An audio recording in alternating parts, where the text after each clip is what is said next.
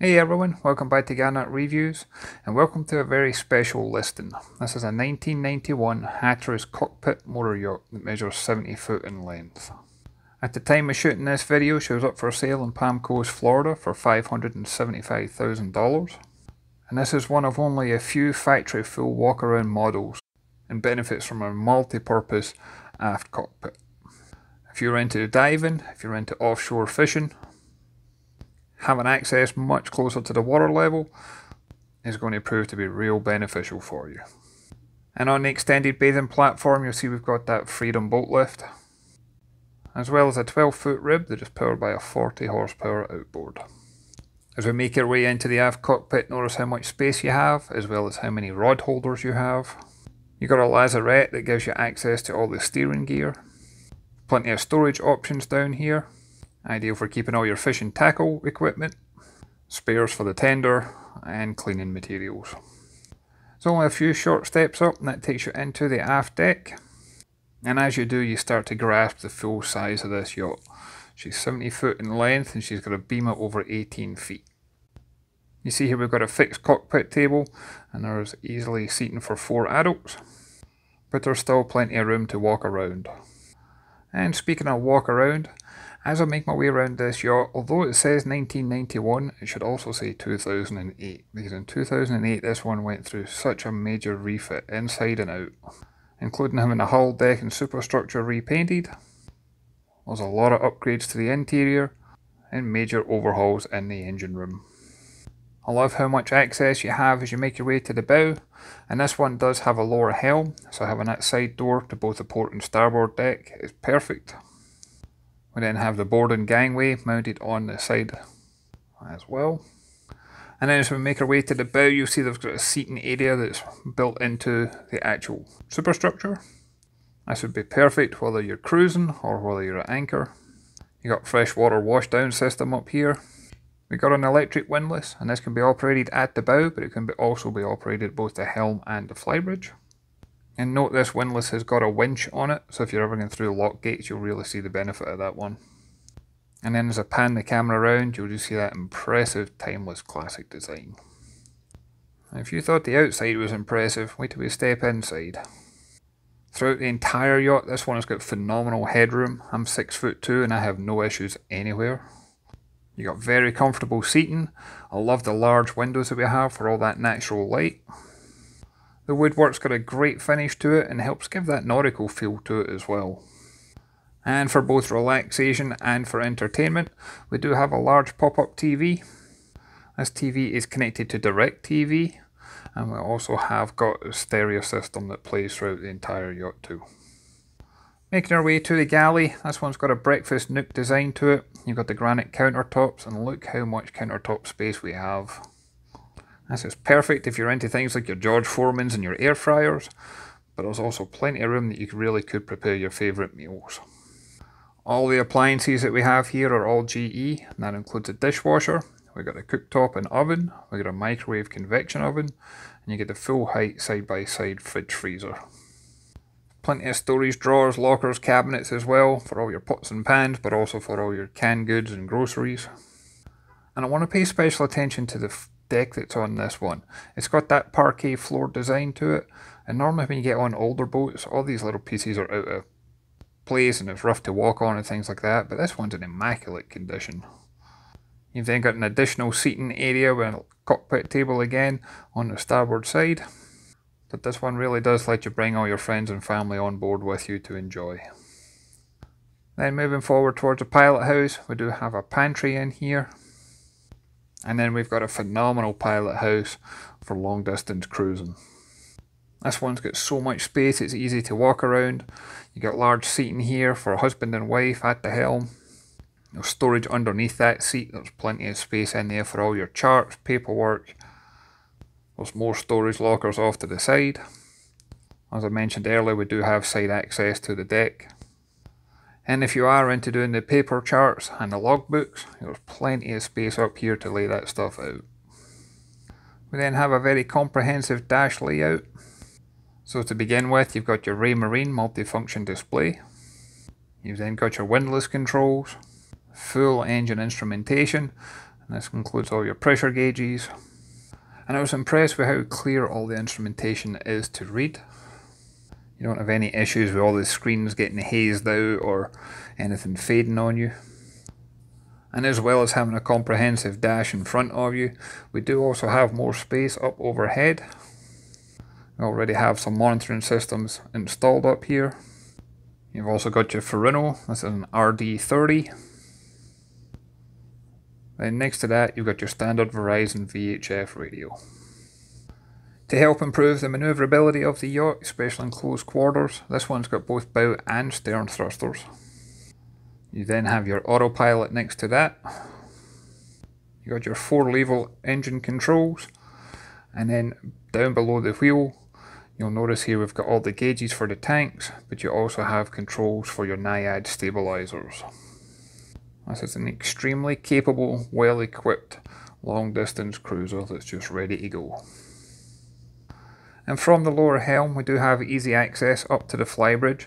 I'll take you up there later in the video, but I like the fact that you've got access to the flybridge without having to go outside. Where I'd like to take you next is if we go back through to the saloon, you've got this side access way and this leads down to the owner's stateroom. I was impressed with how illuminated the stairway is. You've also got plenty of handholds and the steps themselves are easy to get up and down, they're not too steep. And I also want to point out this has got a very soft carpet down here. I didn't have any shoes on at this point and it is extremely comfortable to walk on. And then as you make your way aft into the owner's stateroom, you'll see that this one benefits from near full beam at over 18 feet. And that allows you to have a king size centerline berth with easy access on either side. And as I pan the camera around, you can just see all the different storage cabinets and drawers that we have available. You got plenty of natural light. I've got a large TV up here as well. Full height hanging locker space. This has got lights in here as well as been cedar lined.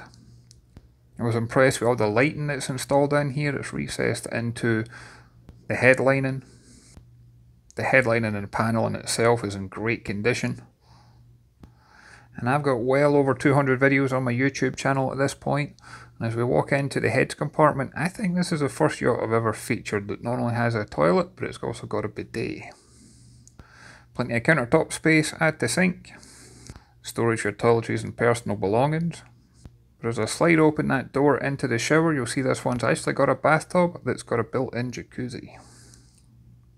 And also as I pan the camera around and you catch my reflection on the mirror, note how much headroom I've got. And as I make my way out of the cabin, also take a look at the woodwork. There is no sign of any stains, leaks, or any sort of issues like that. This is an extremely well maintained yacht. And up next is basically a utility room. This includes both a washer and a dryer for full laundry facilities. Helps keep your clothes clean, but also is going to give you fresh linens, towels, things like that. You'll also notice in here we've got a number of spares, as well as mechanicals and tools. And there's a good reason for that. Because it's down here we also have full height walk-in engine room access. Now as I mentioned this engine room benefited from a lot of expense, time, money and effort spent on it in 2008. And here you're going to find the Onan 25 kilowatt generator. But more importantly you're going to find a pair of Detroit diesels. These are 12V92 diesel engines. They got 1040 horsepower each. That's going to give you a fast cruising speed around 17 knots and a maximum speed of around 20 knots. We've got 345 gallons of fresh water. We've got 180 gallons of holding tank. And we've got just over 6,300 gallons and that's split across four tanks for fuel. And I've often said the easier it is to service and maintain the engines, the more likelihood that's been done. And in this case, there's plenty of documentation that goes with it that just shows how much work has been invested here. This engine room is also well ventilated. We do also have a water maker installed on board. There's a total of 8 air conditioning compressors. You got the full fire suppression system. There's a central vacuum system installed and we got a 40 gallon hot water heater. I'm making our way down to the lower accommodation on the bow. Again, you've got easy access down those steps. And if I make my way to the very bow itself, you got a forward bunk cabin. And this cabin has got tremendous natural light as you can see because it's got a large hatch overhead. Even this far forward in the yacht I still don't have any issue with headroom. The top bunk also benefits having an opening porthole for both light and ventilation. And on the port side of the cabin you're going to find plenty of storage. We get different drawers, lockers, there's a sliding cabinet. This is definitely a yacht that was designed for long-term liveaboard use. And again, look at the condition of the cabin. There's no signs of anything peeling off the walls. There's no obvious signs of any damage. You got more storage underneath that bottom bunk. And then on the forward bulkhead, there's a really clever design which I like. This is where you access the anchor locker, but it's actually behind the artwork. The artwork itself is basically the doors, and I liked how it's got that camouflage effect to it. This forward cabin is fully en suite, and here you're going to find the toilet. You've got the sink with plenty of storage again for your toiletries and personal belongings, and you've also got the shower. And in that shower, you'll notice it's actually got like a seat molded into the fiberglass. So if you ever want to sit down and take a shower, you've definitely got that option in here. And then as we leave this cabin, we start to head aft. Next up is another heads compartment. And this one in particular benefits from having a large hatch overhead. There's a ton of natural light and ventilation in here. And the primary use for this heads compartment is going to be for the guest cabin that is on the port side.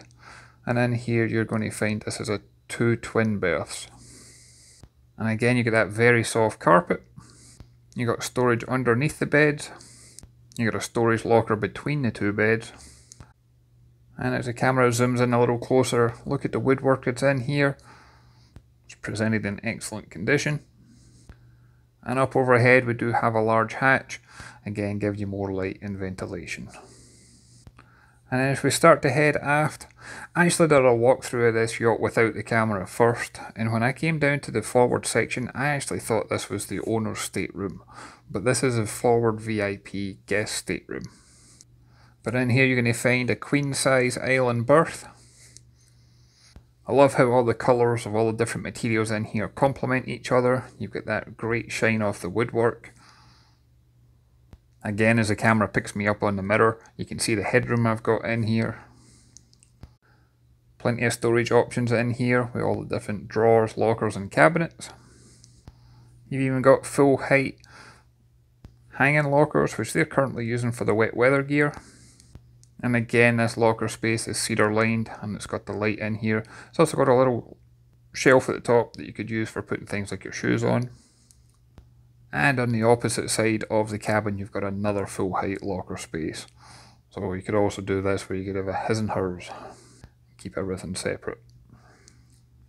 And if I close the door over that leads into the cabin, you'll see here that this one is fully en suite.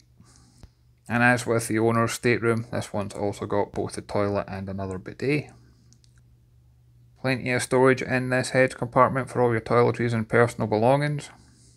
And the head compartment is part of the reason I thought this was the owner's stateroom when I first saw the yacht, because again, inside the shower compartment, you're going to find that this one has got a bathtub that's got a built-in jacuzzi to it as well.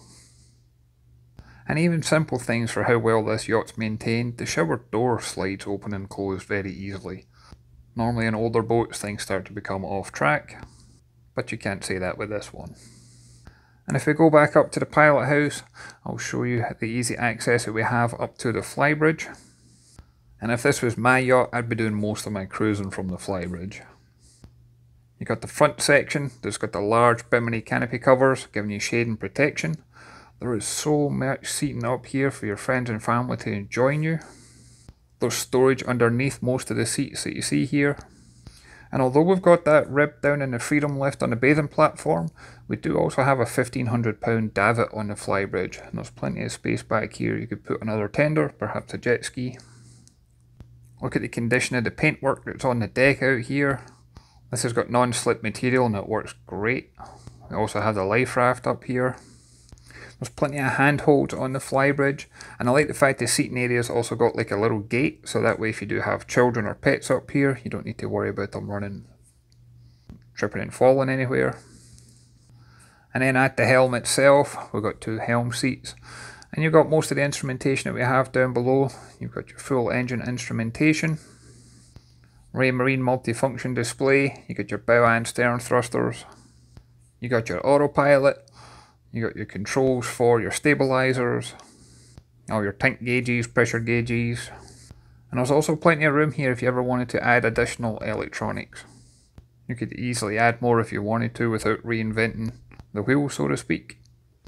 And then standing at the helm as I pan round, you can see we've got fantastic visibility, especially when it comes to doing close quarter manoeuvring. I'd like to thank Joe once again for the opportunity. Come on board and check this one out. As always, I'd love to hear your thoughts and comments. If you can leave a comment down below. If you haven't done so already, if you can hit that like and subscribe button, really does make a difference. And I look forward to catch you on the next one. Thanks everyone.